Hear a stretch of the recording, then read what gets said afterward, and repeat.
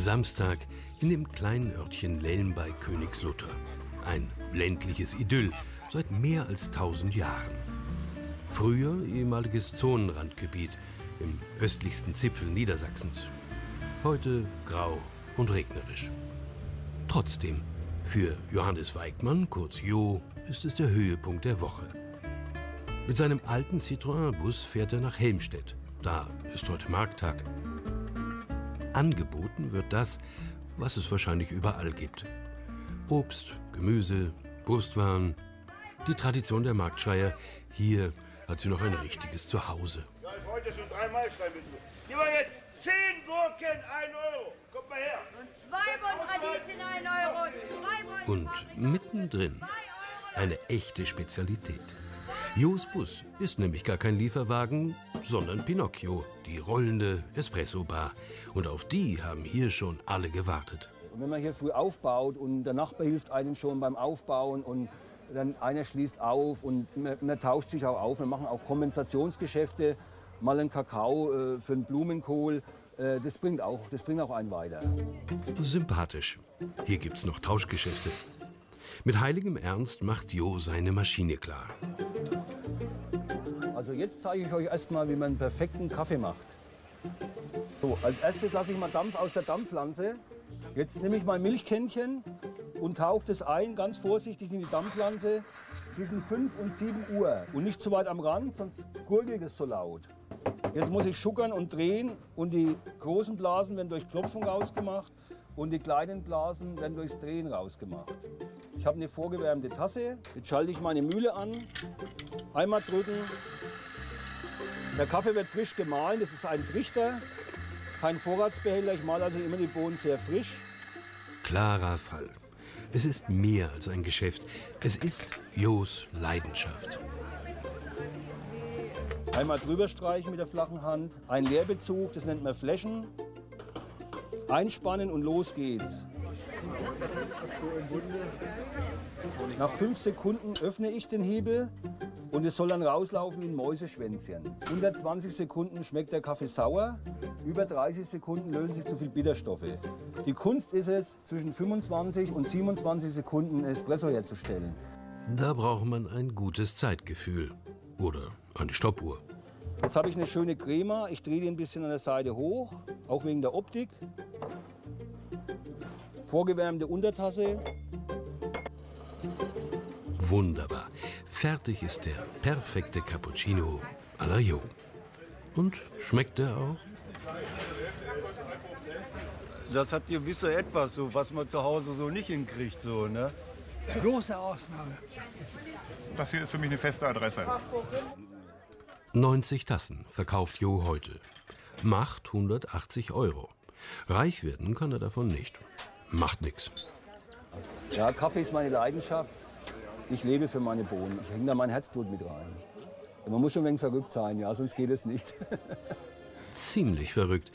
Rechnet man Stromverbrauch, Standgebühr und alle Nebenkosten ab, wird klar, davon kann Jo nicht leben. Aber lassen kann er es auch nicht. So ist es mit Leidenschaften. Er scheut keine Mühen. Zum Beispiel vier Stunden Fahrt nach Hamburg, um einen einzigen Sack Kaffee zu kaufen. Aber einen ganz besonders feinen. Morgen in mein Nachmittag. Wow.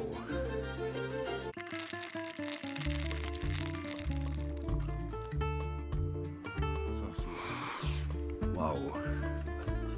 Gestern Markttag in Helmstedt, Niedersachsen. Zwischen Obst- und Gemüseständen ein originelles Gefährt. Die mobile Espresso-Bar von Jo Weidmann. Er macht nicht einfach Kaffee, er zelebriert Espresso und Cappuccino wie ein Ritual. Und es ist der beste, glaubt man den Kunden. Joes Ziel ist ein möglichst perfekter Kaffee. Dazu gehört einiges. Zuallererst einmal gute Bohnen. In über 60 Ländern der Welt wird Kaffee angebaut. Qualität ist sehr unterschiedlich, aber Jo weiß genau, was er will. Ja, ich fahre heute nach Hamburg mit meinem Oldtimer-Bus und hole einen Sack äh, Rohkaffee ab im Kaffeelager vom Detlef Kortz, direkt aus Guatemala. Der hat schon eine lange Reise hinter sich. Und wir aber auch. Äh, wir sind jetzt vier Stunden gefahren mit dem Oldie. Ankunft im Kaffeelager in Hamburg. Nicht in der romantischen Speicherstadt, sondern in einem Gewerbegebiet. Ein eher nüchternes Umfeld. Ja, das ist der Detlef Kortz, mein Importeur von dem Guatemala. Ein Hammer-Kaffee, sag ich euch. Ständig ausverkauft, der ist handgepflückt. Äh, ich komme gar nicht nach, aber ich habe halt eine kleine Rösterei, ich kann mir immer nur einen Sack leisten. Du übertreibst doch nicht, ne? Nee. Ein einziger Sack? Hier stapeln sich 300.000 bis zur Decke. Wert mehrere hundert Millionen Euro. Gar nicht so einfach, die kleine Charge aus Guatemala zu finden. Detlef Kortz ist eigentlich kein richtiger Kaffeeimporteur. Eher ein Mittelsmann zwischen den Kaffeebauern aus einer kleinen Kooperative in Guatemala und den Käufern, die diese besondere Qualität zu schätzen wissen. Die fair gehandelten Bohnen aus Lampocoy sollen Kaffeetrinker glücklich machen und obendrein eine Schule und Krankenstation in dem 500-Seelendörfchen am anderen Ende der Welt unterhalten. Detlef hier. Na also, Toll. was sagst du? Wow. Also ich zerreibe hier mit meinen Händen die frischen Guatemala Rohbohnen und prüfe mit meiner Nase. Sie riechen nach Heu, also die, der Kaffee ist frisch. Und ein Qualitätsmerkmal erkennt man daran, die sind sehr schön grün, sind gewaschen, sind sehr sauber aus, gleichmäßig. Und ein frisches Merkmal ist für die diesjährige Ernte, man muss ein bisschen Heugeruch in der Nase haben. Und meine Frau sagt, der Guatemala ist ihr Lieblingskaffee. Er wäre fast zu schade äh, zu verkaufen, man müsste ihn selber trinken. Für mich war Kaffee immer diese schwarze Brühe, wo man so lange Milch und Zucker reintat, bis das einigermaßen schmeckte. Aber dass Kaffee auch ohne Milch und Zucker und sogar noch lauwarm und kalt genießbar ist, das weiß ich heute. Und wir sagen ja, Kaffee, der kalt nicht geschmeckt hat, der hat auch warm nicht geschmeckt. Also der Spruch vom kalten Kaffee, das ist kalter Kaffee. 69 Kilo wiegt der Sack mit Rohbohnen aus dem Hochland. Eine alte Maßeinheit. Sie entspricht 150 spanischen Pfund. So viel, wie ein Indio gerade eben noch schleppen konnte. Hier übernimmt ein Gabelstapler den Knochenjob. Jedenfalls bis zu Jos Lieferwagen. Mensch, ist der Schmäler. Auf geht's. Nach Hause. Vier Stunden Fahrt bis zu Jos kleiner Privatrösterei in Lehlen bei Königslutter. Er ist schon sehr gespannt, wie die feinen Arabica-Bohnen sich verarbeiten lassen. Rösten als Kunst. Nur die richtige Kombination aus Bohnen, Temperatur und Zeitdauer garantiert das perfekte Kaffeearoma. Morgen. In mein Nachmittag.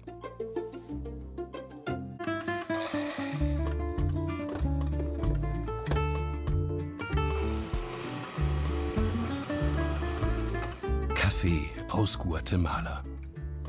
Ein Sack feinste Bohnen aus Lampocoy. 680 Euro. Mehr kann sich der kleinste Kaffeeröster Norddeutschlands auf einmal nicht leisten. Eine Liebhaberei, genau wie sein Auto. Ja, ich habe das Auto das erste Mal gesehen vor zwei Jahren auf dem Fischmarkt in St. Pauli und dann habe ich zu meiner Frau gesagt, schau, das ist es. Irgendwann mal möchte ich auch so ein Auto haben. Nur das Problem ist, es hat nur drei Gänge. Es ist halt ein entschleunigtes Fahren. Man kann da einen 80er Schnitt fahren etwa und mehr geht da nicht. Macht für die Strecke von Hamburg bis nach Lehlen bei Königslutter vier Stunden Fahrt.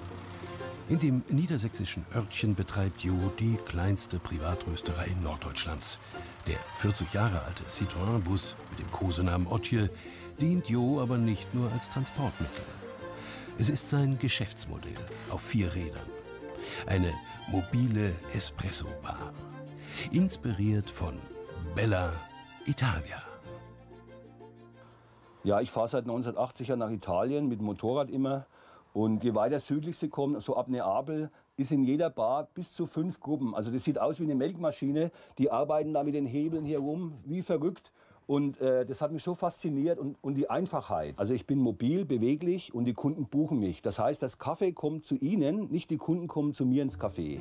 Bevor es soweit ist, muss Jo allerdings die Bohnen erst einmal rösten. Auf 12 Quadratmetern hat er in einer Ecke seiner Garage die Maschine aufgebaut.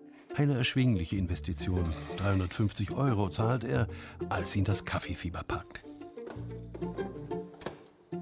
Ja, ich habe vor dreieinhalb Jahren ein Buch geschenkt bekommen zu meinem Geburtstag von einem Freund. Das hieß Kaffeerösten zu Hause. Das habe ich in einer Nacht durch und dann habe ich mir gleich so ein Gerät gekauft. Also die Industrie röstet in einer Stunde etwa vier Tonnen. Ich kann mit einem manuellen Röster hier in meiner kleinen Rösterei vier Kilo rösten. Und das schmeckt man, das spürt man. Und ich liebe das einfach. Ich hätte das schon mal viel eher machen müssen. Ich liebe einfach den Duft von frisch geröstetem Kaffee. Wenn das hier rauskommt und duftet, das stinkt nicht oder riecht, sondern es duftet. Ich bin wie in der Backstube. Sie sehen jetzt langsam, die Bohnen entwickeln sich. Also sie, sie be beginnen von grün sich langsam hellgelb zu färben. Nach etwa sieben Minuten werden sie schön zitrusgelb und dann von hellbrau ins dunkelbraun zu gehen. Schade, dass es kein Geruchsfernsehen gibt. Es duftet wirklich herrlich. Wenn man ganz leise ist, hört man den ersten Crack. Also der Fachmann spricht von First Crack. Die Bohnen platzen auf, die haben sechs Bar. Die äußere Zellstruktur verändert sich. Es wird ein kleines Silberhäutchen abgespaltet und das sind Bitterstoffe. Eigentlich ist es Abfall. Die Industrie hat im Kaffee nichts verloren. Und die Industrie verwendet diese Häutchen, vermahlt diese Häutchen und streckt dann mit den Filterkaffee. Das heißt, 80 Prozent ist Kaffee, der Rest ist sowas. Geht gar nicht eigentlich. Das erklärt manchen schlechten Bürokaffee. So, jetzt ist die Temperatur okay. Ich kann den jetzt rausnehmen stoppt automatisch in der Ausgangsstellung. Ich nehme also jetzt den Kaffee. Ich habe hier 160 Grad, es ist unheimlich heiß. Ich fülle ihn schnell um. Und dann ab in die Pfanne. Die hat Jo vorher ins Gefrierfach gelegt, damit die Bohnen nicht nachrösten. Das Ergebnis 1A aromatischer Arabica. Der Unterschied zu Robusta liegt im Wortsinn auf der Hand. Aber was ist eigentlich das Charakteristische dieser beiden großen Bodenfamilien? Und wofür braucht man sie? Morgen, in mein Nachmittag.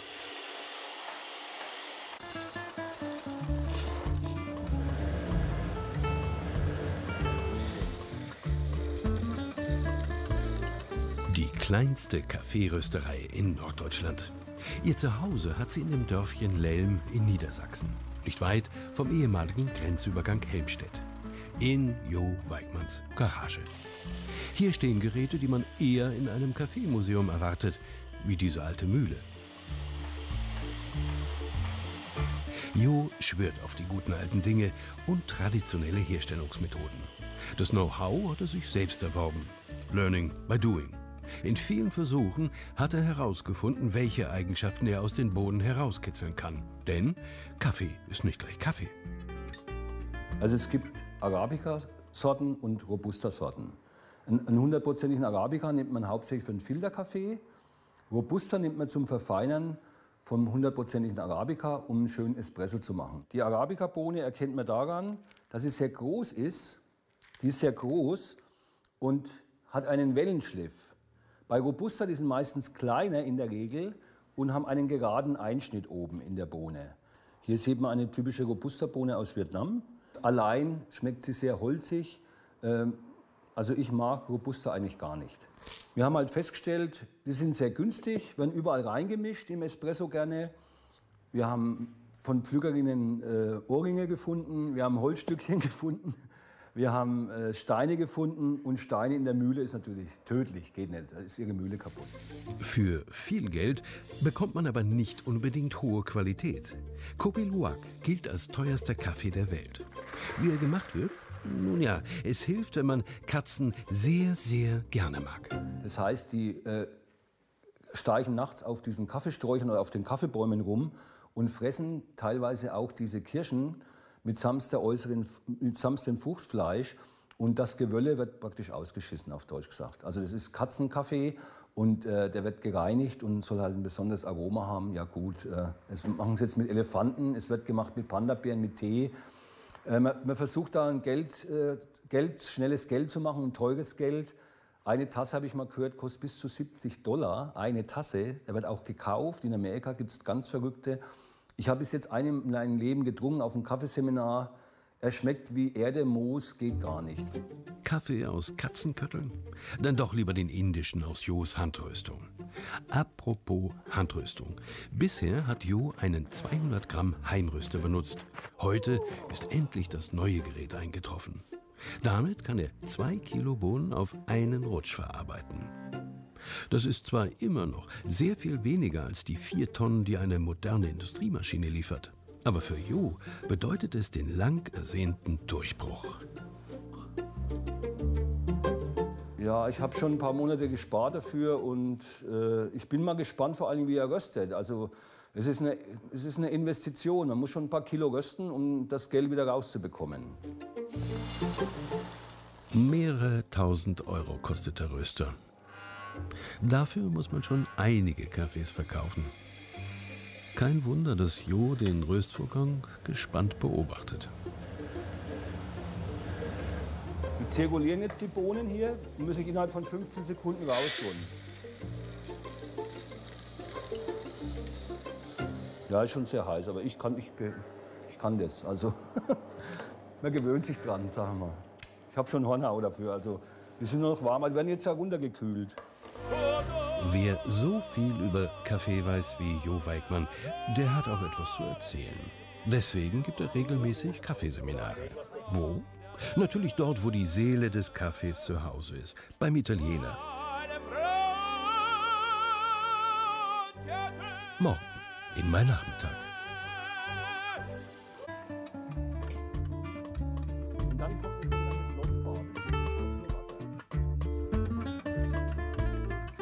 Kaffee mit Liebe und Leidenschaft geröstet. In Norddeutschlands kleinster Privatrösterei.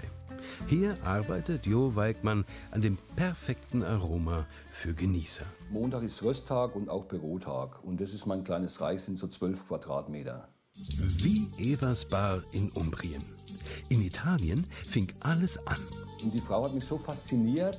Die steht seit 61 Jahren hinter einer Theke. Die ist nur 1,50 Meter groß und hat seit 60 Jahren immer denselben blauen Arbeitskittel an. Also das besondere Erkennungsmerkmal Eva klein und hat einen großen blauen Arbeitskittel. Eva war auch die einzige, die mich an ihre Espressomaschine gelassen hat. Ich durfte mal selber das ausprobieren, das fand ich schon mal sehr gut. Und ich habe dann immer wenn geschaut, sie hat so eine alte Espressomaschine dort und wie sie das alles gemacht hat mit dem Espresso. Und da dachte ich mir, ja, das könntest du auch mal machen. Das ist, das ist ganz toll. Also ich, es war so entschleunigend, es war so entspannend alles und auch diese Nierentischchen, alles so 50er, 60er Jahre. Dann sage ich, Mensch, Eva, verkaufst du mir das Kaffee oder kann ich da nicht anfangen da unten? Oder wie lange willst du noch machen? Und dann sagt sie, bis der mich da oben holt. Das hat er bis jetzt nicht. Eva ist mittlerweile 90 Jahre alt und Covergirl auf Jos Spitzenkaffee. Seiner Liebe zu Bella Italia bleibt Jo auch hierzulande treu. Kaffeeseminar im italienischen Restaurant Herrenmühle in Königslutter. Jo will neue Jüngerinnen und Jünger für den Kaffeegenuss der Extraklasse gewinnen. Er verteilt Rohbohnen. Die meisten haben so etwas noch nie gesehen. Was soll ich damit machen? Nichts machen, einfach angucken. lassen. Herzlich willkommen zu meinem Kaffeeseminar hier in Königslutter. Ich stelle mich kurz vor. Ich bin der Jo Weigmann, bin 57 Jahre alt. Vom Beruf bin ich eigentlich Schreinermeister und Parkettleger in Nord... Das Käse. Ey, hör mal auf jetzt. Kann ich nicht. Eine Frage habe ich an euch. Wer trinkt denn gern einen Espresso? Also eins, zwei, drei. Also die Hälfte hier trinkt gern Espresso. Ja, aber Moment, in Italien normalerweise, ein Italiener wird nie Espresso gesagt. Ist nicht unbekannt. Lache mich aus, wenn ich in Italien gehe. Wenn ich am Bar gehe, sagt er, ein Espresso bitte. Un Espresso, per favore. Bist du Deutscher? In Italien heißt Es- nicht Espresso. Das ist einfach Kaffee. Wieder was gelernt für den Urlaub. Espresso heißt in Italien ganz einfach Kaffee, weil dort so gut wie niemand Filterkaffee trinkt. Und wenn einen Filterkaffee kauft, also der Röster sagt zu, zu diesen Sachen Briketts. Ja? Das sind für uns Briketts. Gilt natürlich nicht für Jos guten Filterkaffee. Kaffeekunde Teil 2. Alte Röstmaschinen. Und das habe ich vom Flohmarkt, das ist schon sehr antik. Äh, da hat man früher so ein kleines Herdchen gehabt, so ein Öfelchen. Ne? Und da hat man hier den Deckel aufgemacht, hat hier die Rohbohnen rein, Deckel zu und hat so lange gekurbelt über dem Feuer, dass sie nicht verbrannt sind. Und hat, das hat dann alles gerochen, meistens immer ein bisschen verbrannt. Und damit hat man Kaffee geröstet. Im dritten und letzten Seminarteil heißt es Espresso perfekt gezapft. Der Lernerfolg stellt sich unmittelbar ein. Ich habe gerade festgestellt, dass wir seit Jahren Espresso trinken zu Hause. Aber darf eigentlich gar nicht schmecken, weil wir den in der falschen Kanne machen. Aber schmeckt trotzdem. Komisch, ne? Ich trinke mir gerne stark, aber mit Milch. Es widerspricht sich zwar, aber ich mag ihn einfach so. Ich trinke jeden Tag nur eine Tasse Kaffee zu Hause nachmittags, aber guten Kaffee. Auch hier von ihm, indischen. Oder ich kaufe auch Bragg-Kaffee, also kein Chibo und so ein Quatsch. Und nun gibt's zur Belohnung O Sole Mio, vorgetragen von Restaurantchef Lucio persönlich. Jo kann sich derweil entspannen. Ich habe heute schon so viel Kaffee getrunken, der läuft mir bald zu den Ohren raus. Jetzt äh, zum Feierabend kann man schon mal ein Bierchen trinken. Prost. Auf die Eva.